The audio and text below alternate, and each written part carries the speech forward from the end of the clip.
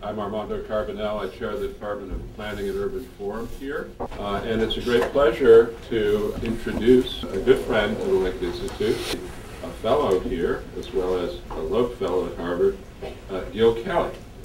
Uh, for those, I know you of you are very close friends of Gil Kelley, I can see looking around, but for those who don't uh, know him, uh, up until this year, Gil was the planning director of Portland, Oregon, uh, a job he held for uh, almost 10 years. Uh, for 10 years before that, he was the planning director of Berkeley, California.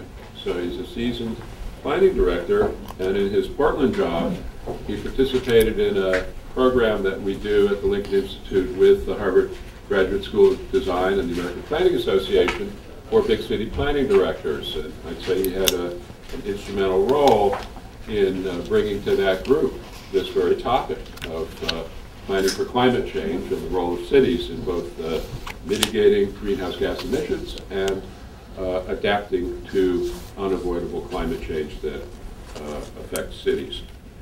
So uh, Gil is going to talk about work he's been doing this year while in Cambridge that relates uh, the form of cities to climate change and in particular talk about what we can learn from the city of Portland, Oregon and how that might uh, be extended to look at other cities in the United States and around the world. So Gil, if you're ready. Sure. We'll welcome you up here. Thank you very much, Armando. some of this that I'll say may be familiar to some of you. Um, uh, this is an audience that uh, appears from the looks of it and from the people I know here to be fairly well schooled in some of the background on climate change issues. Um, so I'll try to dispense with some of the background rather quickly and get to the meat of the matter, but I, I do want to set it up uh, in a way. So uh, I, I, think the first part of what I'd like to say is to thank Armando, uh, Greg, and the uh, Lincoln Institute for um, really expressing an, a, a, deep interest in this topic over the last several years. Um, it wasn't really a mainstream popular topic uh, just a few years ago, and Lincoln has really dedicated itself among among other investigations, to really looking at this phenomenon of the um, application of ideas about uh, city shaping or urban form uh, to uh, mitigating uh, climate change. Uh, and that's really, my focus is about mitigating climate change here, not so much about adapting to climate change, which is the other half of the equation, of course, and also concerns the shape and form of cities. Um, but I'm going to focus on the mitigation piece. Um, and I think that's because uh, it's really putting the uh, horse before the cart to think about mitigating the levels first. Um, everything we do to knock down the potential levels of increases uh, means we have a lot less extreme and expensive work to do on the adaptation side. There will still be lots of that, but um, everything I read in here is that uh, it really becomes exponentially more difficult if we uh, wait any longer uh, and don't act aggressively uh, to really mitigate the possible worst effects of uh, climate change and the uh, increases uh, in greenhouse gas emissions that bring those.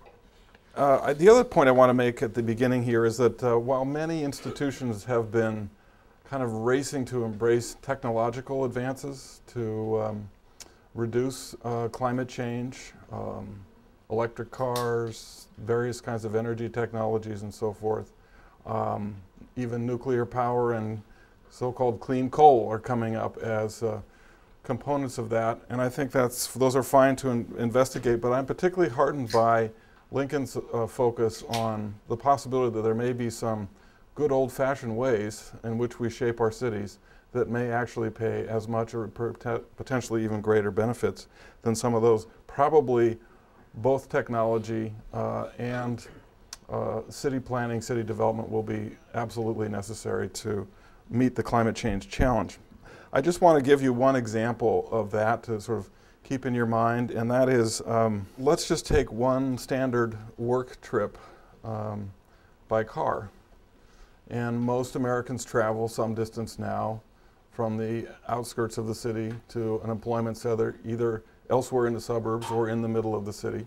And that's generally done by a gasoline powered engine, often driving um, solely, sometimes car sharing.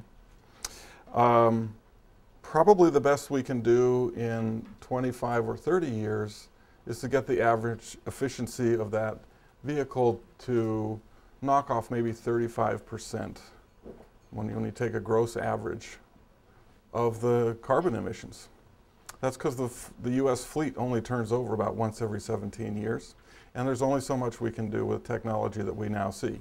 They could accelerate, but I, get, I guess I want you to compare in your mind the notion uh, that we like to use in Portland of the trip not taken. That is to say, if you can walk or take transit to work, that's 100% efficiency, not 35% uh, efficiency. And so that's the kind of idea I think that we're talking about when we talk about the power of urban form uh, in this arena.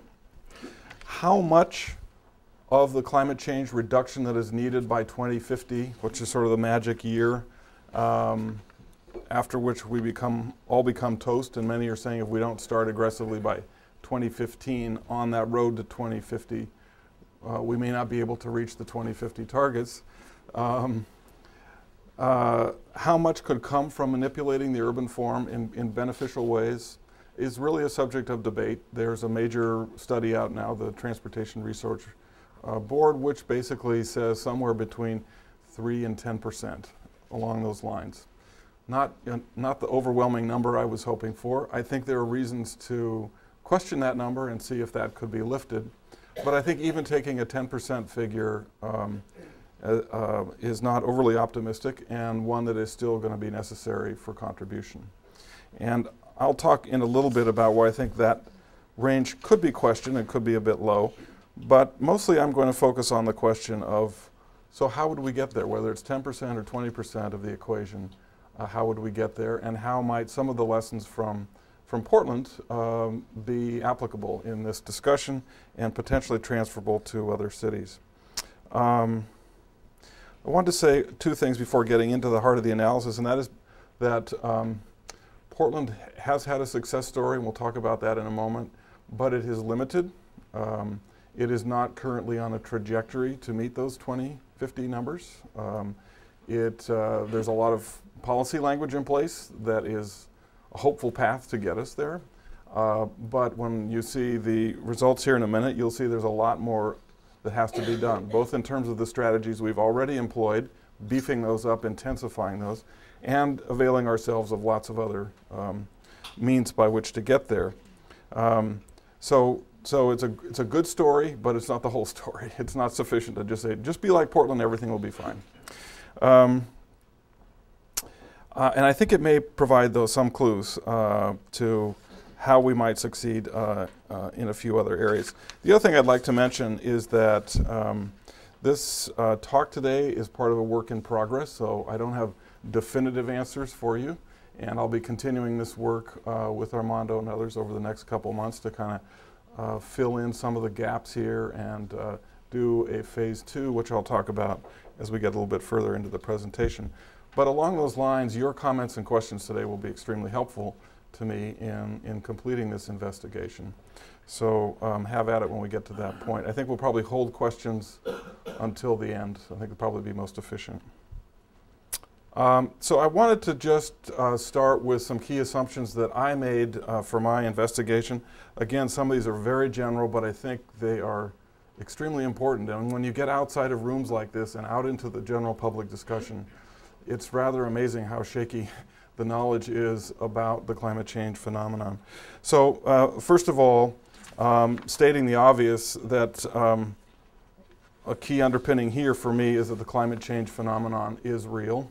Um, that it, this is of geologic proportions. This isn't simply a cycle in modern history. That since industrialization, the curve has been off the charts. Um, uh, which says uh, a couple of things. One is that uh, those levels pose significant risk not only to our natural environment, but to society itself.